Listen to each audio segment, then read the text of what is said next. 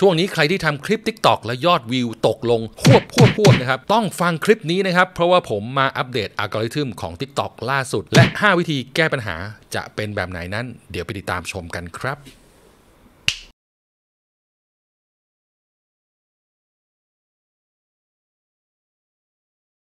สวัสดีครับ วันนี้วอิสาระนะครับ ในช่วงสาระรีวิววันนี้นะครับมาตามคำขอสำหรับหลาย ๆ คนที่กำลังมีปัญหายอดวิว ของการทำวีโอของคุณเนี่ยตกลงมาก ๆ เลยนะครับ ซึ่งตัวผมเองอะก็โดนเหมือนกัน และหลาย ๆ คนที่อาจจะเป็นช่องดังๆเลยครับคนติดตามเป็นล้านเนี่ยก็ยอดวิวตกเช่นเดียวกัน ฉะนั้นไม่ต้องตกใจเลยนะครับ ว่ามันจะเป็นกับคุณคนเดียว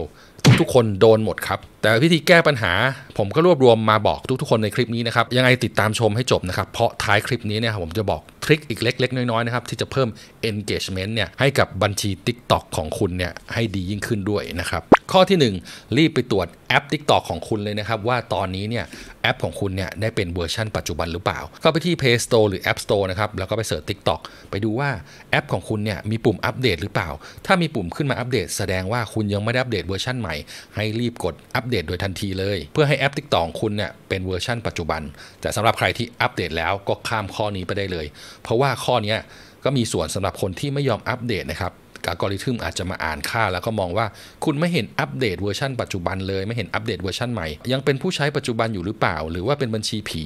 ก็อาจจะลดค่าการมองเห็นหรือปิดกั้นก็ได้ ฉะนั้นรีบไปกดอัปเดตเลยนะครับ ข้อ 2 ลงคลิปเป็นสม่ำเสมอเป็นประจำทุกวัน ขอย้ำว่าทุกวันนะครับ เพราะตอนนี้นะครับอัลกอริทึมของ TikTok มามาสู่เฟสที่ 3 แล้ว เขาก็จะเริ่มคัดบัญชีที่ไม่มีประโยชน์ บัญชีผี หรือบัญชีที่ไม่มีการปฏิสัมพันธ์เนี่ยลงไปเรื่อยๆเรื่อยๆเรื่อยๆดังนั้นบัญชีทั่วโลกมีเป็นล้านล้านบัญชีอัลกอริทึมไม่สามารถตรวจสอบได้หมดนะครับเขาจะค่อยๆ ไล่ตรวจสอบมาเรื่อยๆ ลองคิดตามนะครับ ถ้าเมื่อวานคุณอัปเดตคลิปไปแล้วนะครับ แล้ววันนี้คุณไม่ได้อัปเดตคลิปเลยเนี่ย เกิดอัลกอริทึมกำลังมาตรวจบัญชีคุณพอดี เขาก็จะไม่ได้มองจากเมื่อวาน เขาจะมองวันนี้ไม่เห็นมีการอัปเดต หรือมีการอัพคลิปเลยเลยเนี่ย เขาอาจจะมองว่าบัญชีของคุณเป็นบัญชีที่ไม่มีคุณภาพก็ได้ ฉะนั้นเราไม่รู้ว่าอัลกอริทึมเนี่ยจะมาตรวจเช็คบัญชีเมื่อไหร่นะครับ ฉะนั้นลงคลิป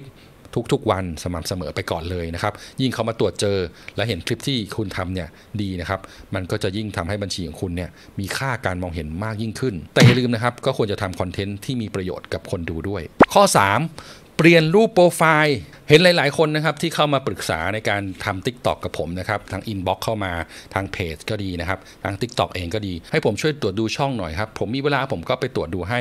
แต่ที่เห็นเห็นคือหลายคนเนี่ยใช้รูปโปรไฟล์นะครับเป็นรูปหมาแมวสิ่งของวิวนะครับอะไรที่ไม่ได้แบบเป็นตัวตนเป็นคนเลย ฉะนั้นเนี่ยณวันนี้คุณกลับไปเปลี่ยนรูปโปรไฟล์ของคุณนะครับให้เป็นรูปของคุณเลยถ่ายสวยๆหล่อๆเอาขึ้นโปรไฟล์แล้วก็โชว์ตัวตนของคุณไปเลย เพราะไม่แน่คุณอาจจะเป็นดาว Tik t o อก เงินล้านคนต่อไปก็ได้ แล้วจะเอารูปหมาแมวสิ่งของทิวทัศน์ลงมาทำไม เพราะว่าคนที่ดังคนต่อไปอาจจะเป็นคุณก็ได้นะ จากนั้นก็อย่าลืมไปเปลี่ยนชื่อ account ของคุณด้วยนะครับ ก็ไปเปลี่ยนชื่อเป็นชื่อของคุณเอง หรือเป็นชื่ออะไรก็ได้ที่คุณตั้งขึ้นมา ที่มีความหมาย มีความน่าสนใจ มีความน่าเชื่อถือ เพื่อให้คนเข้ามาดูแล้วก็กดติดตาม แล้วก็อ่านชื่อ account ของคุณน่ะได้ง่ายๆ จดจำคุณได้ง่ายๆ ใครที่เป็นชื่อแบบ user แล้วตามด้วยตัวเลข หรือชื่ออะไรที่อ่านแล้วแปลไม่ออก ไม่มีความหมายเนี่ยรีบไปเปลี่ยนเลยนะครับ เพราะว่าอัลกอริทึมเฟสที่3เนี่ยพอเขามาตรวจเจอเขาจะมองบัญชีของคุณเป็นบัญชีผี หรือบัญชีที่ไม่มีปฏิสัมพันธ์ก็ได้นะครับ ฉะนั้นถ้าไม่อยากโดนปิดกั้นเปลี่ยนรูปแล้วก็เปลี่ยนชื่อเลยนะครับ ข้อที่ 4 เป็นข้อที่สำคัญมากๆเลย คุณต้องมีปฏิสัมพันธ์กับคนดูแล้วก็สังคมของ TikTok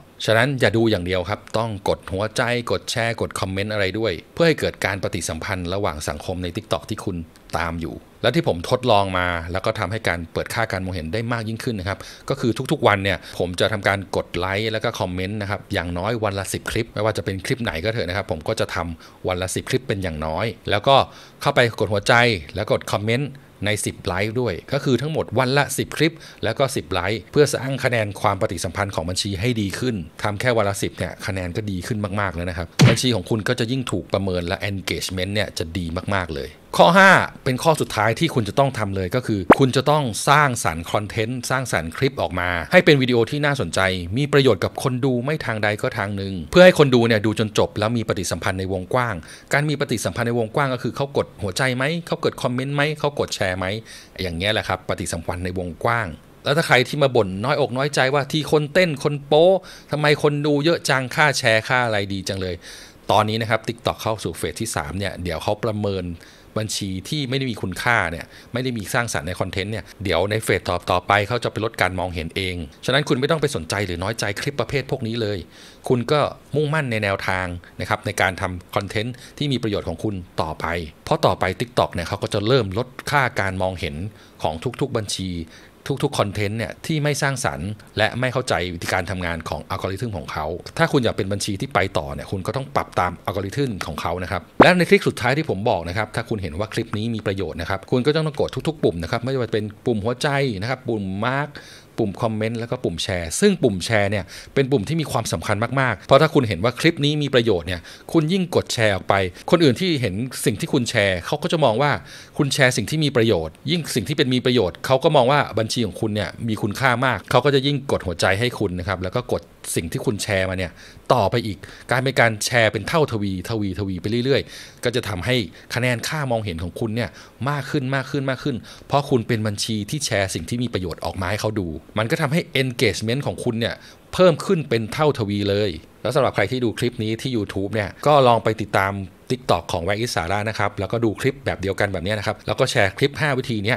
ใน TikTok ของคุณไปนะครับ ก็จะทำให้บัญชีของคุณนะครับ เพิ่มการมองเห็นมากยิ่งขึ้น ไวอิสาระก็มีช่องทางอีกมากมายนะครับ ให้คุณได้ติดตามนะครับ ไม่ว่าจะเป็น Instagram เพจ Facebook YouTube แล้วก็ TikTok นะครับ มีปัญหาอะไรเกี่ยวกับ TikTok เนี่ย ก็สอบถามกันเข้ามาได้นะครับ เดี๋ยวในอนาคตจะมีเปิดกลุ่มนะครับ แล้วก็ไลฟ์สอน TikTok แบบฟรีๆเลย ยังไงก็ลองเอา 5 เทคนิคนี้ไปทำกันนะครับ ถ้าชอบคลิปแบบนี้ช่วยเป็นกำลังใจด้วยการกดไลค์กด Subscribe และกดกระดิ่งแจ้งเตือนไว้ด้วยนะครับ แล้วมีอะไรดีๆอีก ผมก็จากแวร์อิสาระเนี่ยจะนำข้อมูลมาบอกทุกๆคนนะครับ กดติดตามไว้เลยสำหรับวันนี้ขอตัวลาไปก่อน สวัสดีครับ